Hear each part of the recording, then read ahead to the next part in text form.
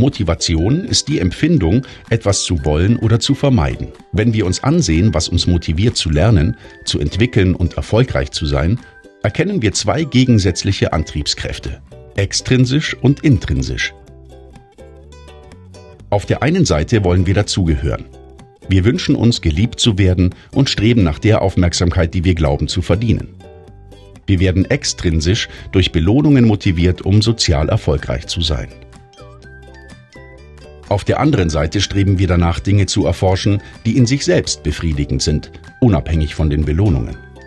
Intrinsisch motiviert sind wir durch eine natürliche Neugierde, der wir nachgehen, weil es sich richtig anfühlt. Die Meinung der anderen spielt keine Rolle. Um zu verstehen, warum wir wahrscheinlich eine gute Mischung aus beiden brauchen, stellen wir uns zwei vierjährige Kinder vor.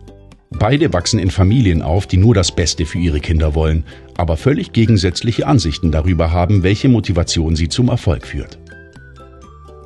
Toms Eltern glauben, alles, was ihr Junge braucht, ist Liebe. Um seine intrinsischen Interessen nicht zu untergraben, loben sie ihn nie und setzen auch keine Belohnungen ein. Schließlich beschließen sie, ihm überhaupt kein Feedback zu geben, da sie befürchten, dass dies seinen freien Geist korrumpieren könnte.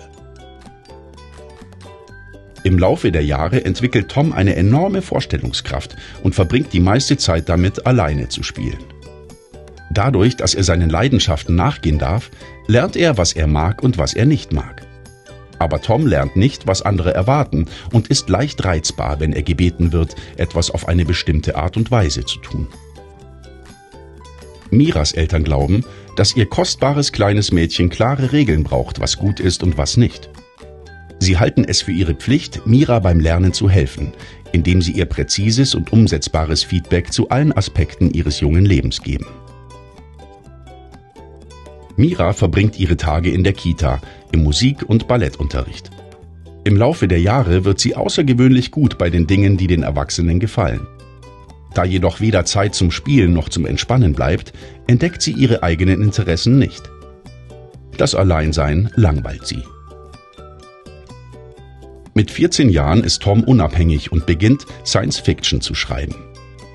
Er merkt, dass er nicht ganz so ist wie seine Freunde und verbringt die meiste Zeit in der Bibliothek. Wenn er von seinen Werken erzählt, können die anderen ihn nicht ganz einordnen. Im gleichen Alter ist Mira an der Klassenspitze und hat viele Freunde und Bewunderer. Sie weiß, was man von ihr erwartet und sorgt dafür, dass sie diese Erwartungen erfüllt. Manchmal wird der Druck unerträglich aber das ist ihr Geheimnis. Mit 21 hat Tom eine einzigartige Perspektive auf die Welt. Er ist intelligent, mag es aber nicht für Geld zu arbeiten und ist daher oft pleite. Er hasst die Idee, sich konventionellen Normen anzupassen und ist genervt, wenn sich jemand in seine kreative Entfaltung einmischt. An diesem Punkt weiß Tom eine Menge über sich selbst, aber er kann mit anderen nicht gut Beziehungen aufbauen. Für ihn scheinen die Menschen Regeln zu befolgen, ohne sie zu hinterfragen, wie Schafe. Es fällt ihm schwer, sich in die Gesellschaft zu integrieren, und er beginnt nach einer Utopie zu suchen. Mira schafft es in eine Top-Medizinschule, wo ihr klar wird, dass sie nie wieder die Klassenbeste sein wird. Sobald dieser Platz unerreichbar scheint, sinkt ihre Motivation und sie fragt sich, ob Medizin sie überhaupt interessiert. Da Aufgeben keine Option ist, nimmt sie ein zweites Hauptfach auf und kandidiert für das Amt der Studentenratspräsidentin. Bald weiß Mira alles über das, was andere erwarten, aber nichts über das, was sie für sich selbst mag.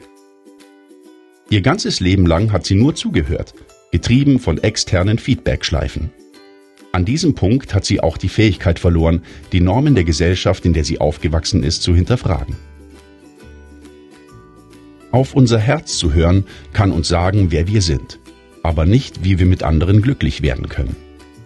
Auf andere zu hören, kann uns motivieren, ein Teil ihrer Welt zu sein. Es zeigt uns aber nicht, ob es auch unsere Welt ist. Deshalb ist es wahrscheinlich gut, wenn wir beide Motivationen in uns tragen. Dann können wir lernen, was wir selbst wollen und wir bekommen das Feedback, das wir brauchen, um die Motivation zu behalten, neue Wege in eine bessere Gesellschaft zu beschreiten.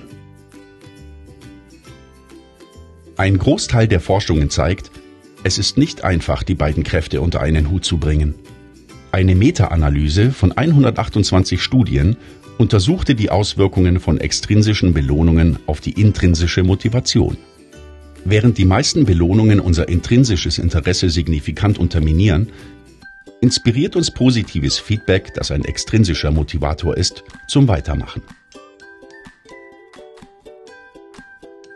Einfach ausgedrückt, ehrliche Worte der Ermutigung bringen uns in Schwung, während Geld oder Geschenke unseren inneren Antrieb schwächen. Wie sieht es mit dir aus? Hörst du auf dein Herz oder auf die Stimmen der Gesellschaft? Und aus deiner persönlichen Erfahrung heraus, welche der beiden trifft letztendlich deine Entscheidung? Teile deine Gedanken und schau dir die Beschreibung an, um tiefer in das Thema einzutauchen.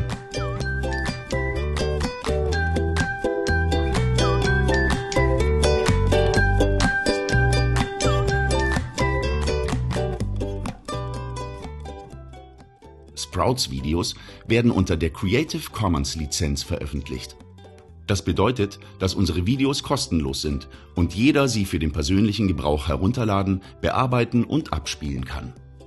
Öffentliche Schulen, Regierungen und gemeinnützige Organisationen können sie auch für Schulungen, Online-Kurse oder die Gestaltung neuer Lehrpläne verwenden.